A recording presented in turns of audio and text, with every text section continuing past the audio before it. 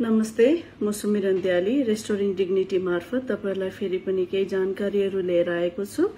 अहिले हामीले जानकारी चाहिँ ब्याक टु स्कुल कोभिड सेफ्टीको बारेमा जब बच्चाहरू स्कुलमा फेरि फर्केर जाँदैछन् त्यसको बारेमा हामीले केही जानकारीहरू लिएर आएका छौँ।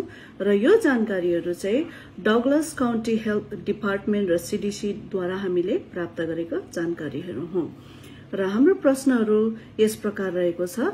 पहिलो प्रश्न चाहिँ मैले सुनेको नयाँ प्रकारको कोभिड छ भनेर र यो चाहिँ के हो? भनेर प्रश्न रहेको छ। र जीवनमा जसरी परिवर्तन हुन्छ सबै चिजहरूको त्यसरी नै कोभिड पनि परिवर्तन हुन्छ। हामीले डेल्टा कोभिड र ओमिक्रोन कोभिडको अनुभव गर्यौं र अब ओमिक्रोन कोभिड परिवर्तन भएको छ र यसलाई चाहिँ ओमिक्रोन कोभिड बिए फाइभ भनेर हामी भन्छौं। र बिए पोइन्ट फाइभ अथवा बिए फाइभ ओमिक्रोन कोभिडको एउटा फरक संस्करण हो। कोभिड बिए फाइभबाट बिरामी हुन धेरै सजिलो छ अन्य कोभिड भेरिएन्ट भन्दा पनि बढी। धेरै जसो मानिसहरूले खोप लगाएको हुनाले वा पहिले नै कोभिड अ, बाट बिमार भएको कारणले कोभिड बिए पोइन्ट फाइभले मानिसहरूलाई डेल्टा कोभिड जत्तिकै बिरामी भएको छैन अथवा परिरहेको छैन। यद्यपि यसले अझै पनि गम्भीर रोगहरू निम्त्याउन सक्छ र मानिसहरू अझै अस्पतालमा भर्ना भइरहेका छन्। केही मानिसहरू कोभिड बिए पोइन्ट फाइभबाट मरिरहेका छन्। र अर्को प्रश्न चाहिँ मैले धेरै बच्चाहरूलाई स्कुलमा फर्कन र कोभिड सुरक्षाको बारेमा के थाहा पाउन पर्छ भन्ने प्रश्न रहेको छ।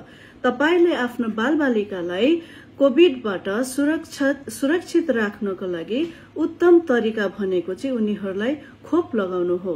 छ महिना वा सोभन्दा माथिका सबै बालबालिकाहरूले अब खोप लगाउन सक्नेछन्।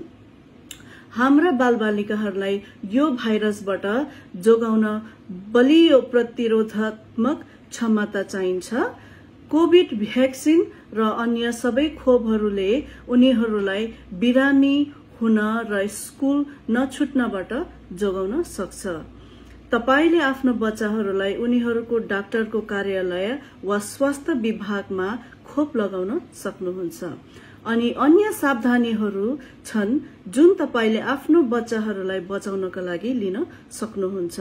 जब तिनीहरू स्कुलमा फर्कन्छन् तिनीहरू अ, भित्री कोठामा हुनेछन् र धेरै अन्य विद्यार्थीहरूसँग कोठाभित्र हुनेछन्।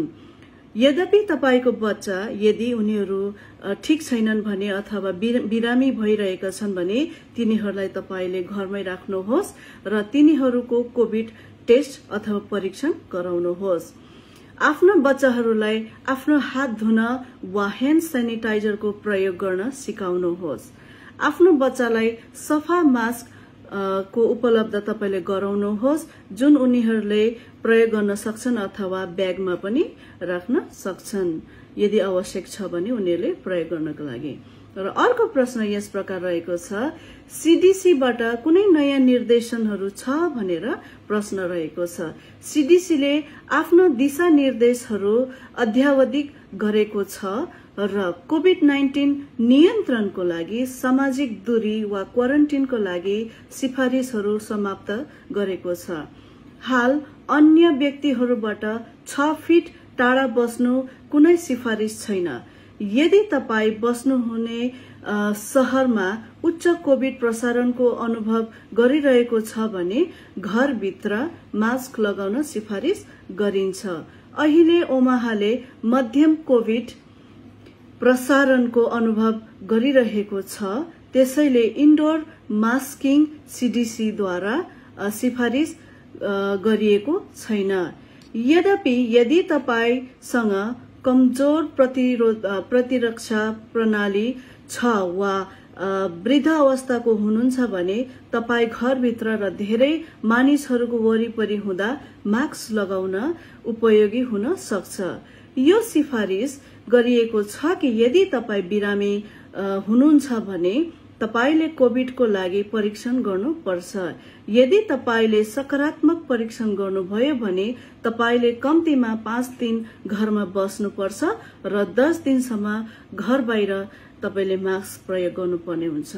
र अर्को प्रश्न यस प्रकार रहेको छ कोविड बिए फाइभका लक्षणहरू के के हुन् भनेर छ? अन्य अघिल्लो कोविड नाइन्टिनको भेरिएन्टहरू जस्तै कोविड बिए फाइभको रिपोर्ट पनि यस प्रकार गरिएको छ। यसको लक्षणहरू ज्वरो आउनु नाक बग्नु खोकी लाग्नु घाँटी दुख्नु टाउको दुख्नु मांसपेशीहरू दुख्नु अथवा थकान लाग्नु। र अर्को प्रश्न चाहिँ कोविड बिए फाइभ फाइभ विरूद्ध रक्षा गर्न म के गर्न सक्छु भन्ने प्रश्न रहेको छ। कोविड बिए पोइन्ट फाइभबाट आफूलाई जोगाउन सबैभन्दा राम्रो तरिका भनेको तपाईँ तपाईँको खोप र बुस्टरसँग अध्यावधिक हुनुहुन्छ भनेर सुनिश्चित गर्नु हो खोप लगाइएको मानिसहरू कोविडबाट गम्भीर रूपमा बिरामी हुने सम्भावना धेरै कम हुन्छ भन्ने प्रमाणहरू अहिले प्रशस्त छन्। थप रूपमा तपाईँ घरभित्र मास्क लगाउन सक्नुहुन्छ जब तपाईँ धेरै मानिसहरूको वरिपरि हुनुहुन्छ भने। र अर्को चाहिँ अर्को प्रश्न कोभिड होम टेस्ट किट किन महत्वपूर्ण छ भनेर प्रश्न रहेको छ। यदि तपाईँसँग कोभिड होम टेस्ट किट छ भने तपाईँले कोभिडको टेस्ट तपाईँ त्यसको जानकारी चाहिँ छ भने तपाईँले परीक्षण तपाईँले घरमै गर्न सक्नुहुन्छ र पन्ध्र मिनटभित्रमा नै त्यसको तपाईँले परिणाम पाउन सक्नुहुन्छ तुरन्तै। र तपाईँले सबै फार्मेसीहरूमा घरेलु परीक्षण अथवा होम टेस्ट किट तपाईँले किन्न सक्नुहुन्छ र केही इन्सुरेन्सहरूले अथवा बिमा कम्पनीहरूले यो कोभिड टेस्ट होम टेस्ट किटको लागत पनि उनीहरूले कभर गरिरहेको छ। र शरणार्थी स्थिति लिएर अमेरिकामा आउनुभएका व्यक्तिहरूको लागि रेस्टोरिङ डिग्निटीसँग केही होम टेस्ट किटहरू उपलब्ध छन् र त्यसलाई पाउनको लागि चाहिँ तपाईँले हामीलाई फ्रीमा तपाईँले पाउनको लागि चाहिँ four O two three seven zero nine seven सेभेनमा तपाईँहरू हामीलाई टेक्स्ट गर्न सक्नुहुन्छ र तपाईँहरू आफै अफिसमा आएर तपाईँले निशुल्क रूपमा तपाईँले यो होम टेस्ट किटहरू लिएर जान सक्नुहुन्छ र हामीसँग यो टेस्ट किट चाहिँ एकदमै सीमित छन्। र अब ओमाहाको कोभिड को संख्याहरू यस प्रकार रहेको छ। सुरुदेखि अहिलेसम्ममा हामीसँग एक लाख छैसठ हजार तीन सय बाह्रवटा पोजिटिभ टेस्टहरू पोजिटिभ केसेसहरू आएको छ भने विगत हप्ता आठ सय छैसठवटा नयाँ केसहरू आएको छ र अहिलेसम्ममा कोविडको कारणले मृत्यु हुने संख्याहरू चाहिँ मृत्यु भएको संख्याहरू चाहिँ एक हजार एक सय एकसठवटा जनाको मृत्यु भएको छ भने हामीसँग अस्पतालमा अहिले एक सय चौबिसवटा बेड्सहरू उपलब्ध छन् र अहिले हालैमा कोभिड नाइन्टिनको द्वारा हस्पिटलाइज भएको संख्याहरू चाहिँ एक सय बाहन्नजना वयस्कहरू कोभिडको कारणले हस्पिटलाइज हुनुभएको छ भने तेह्रजना बच्चाहरू कोभिडको कारणले हस्पिटलाइज भएका छन्। र यस्तै प्रकारको जानकारीहरू हामी फेरि पनि लिएर आउनेछौ। आगामी दिनहरूमा हाम्रो भिडियोलाई हेरिदिनु भएको लागि र मन पराइदिनु भएको लागि धेरै धेरै धन्यवाद। नमस्ते।